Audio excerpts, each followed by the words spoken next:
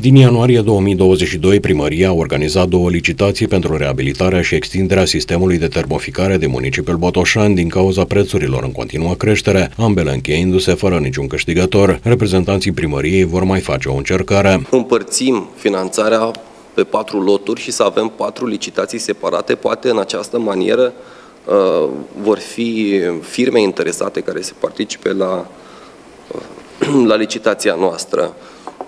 Probabil nu s-au prezentat firme din cauza faptului că prețurile nu au fost uh, în acord cu ceea ce era pe piață. Municipiul Botoșani este beneficiarul unui contract de finanțare cu fonduri europene de câteva milioane de euro. De acești bani ar trebui extinse rețelele secundare și principale, iar altele ar trebui reabilitate. Vor fi reabilitate rețele termice secundare din 5 ansambluri de locuințe, textil, electro, iubs, condace, armonia, pe o lungime totală de 10 km,